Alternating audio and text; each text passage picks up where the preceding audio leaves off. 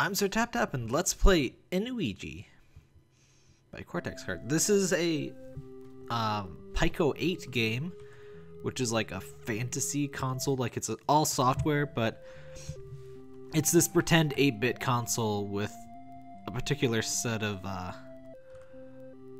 hold a restart. But yeah, we are Luigi, and we're just sort of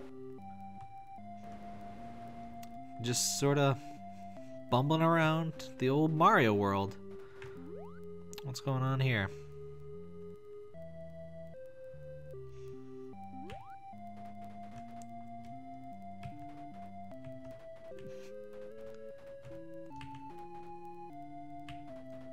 Oh. Slightly more beat up pole. It seems the locations are a bit random. I'd say it again. So this game is sort of a weird little thing where Luigi runs around and ruminates on all of this crap that went down in Mario games and obviously a little bit of a downer both from the title and from the music and such. Oh, I should have thought in that last area. I don't know, man.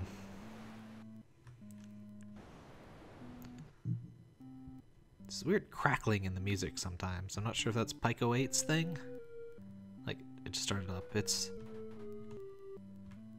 much more noticeable when using heads headphones. Mario!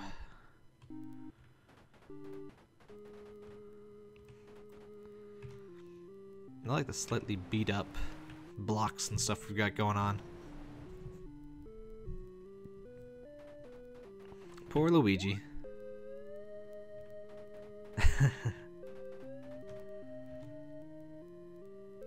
Damn it, Luigi. You've ruined everything. You realize that.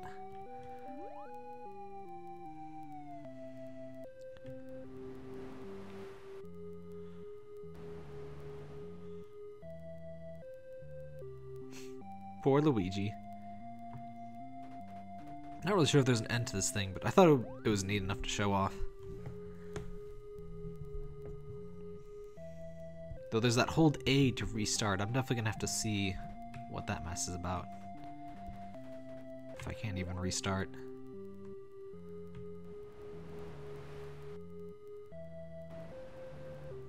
Poor Luigi. Oh, we've been here before. Different quotes, though. Yeah, I think it's just randomized. Take a nice slow drag. Aw, oh, dang. I forgot to ruminate. Get to ruminating, Luigi. Luigi. The ruminate button reminds me of that that arcade game. What is it? That arcade game that Martin is playing in that one Simpsons episode where he's like, "Tell me more," and that's one of the button choices.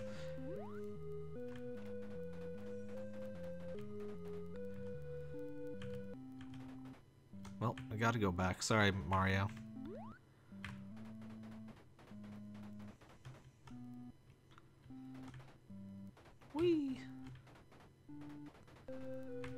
This is one case where the languid pace actually does make some sense. It's been 30 years, I believe, actually. Yep.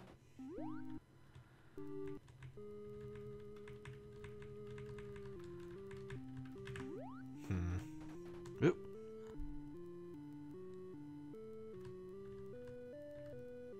Poor Peachy. Wait, can you ruminate multiple times in one place? I guess you can. Except when there is. Hmm.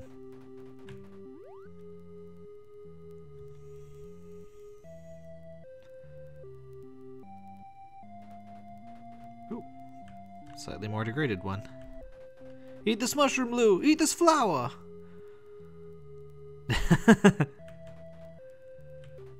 you know, it never it never occurred to me to call Luigi Lou. That's that's weird to me.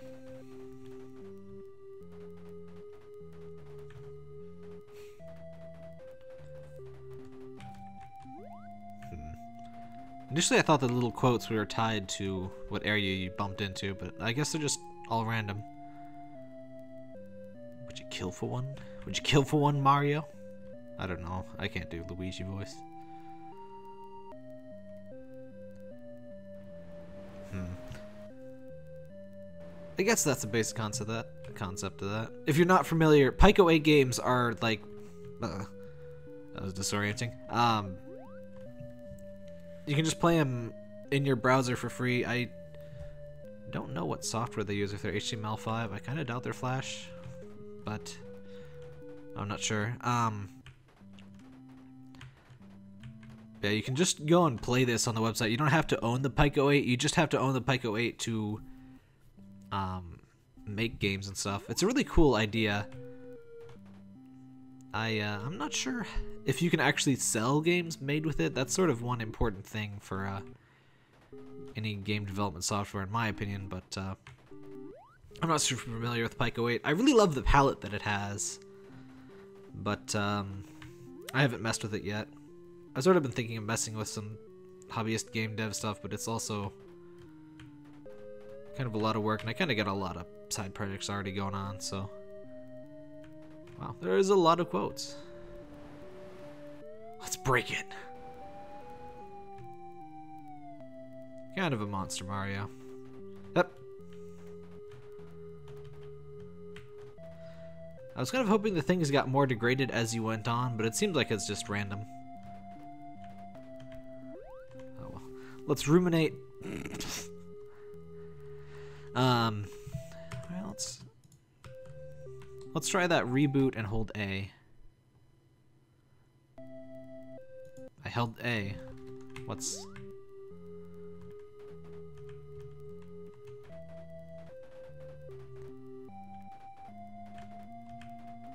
Hmm. Let's try that one more time. Just hold A all the way through. Ah. Oh, it just skips straight into the game?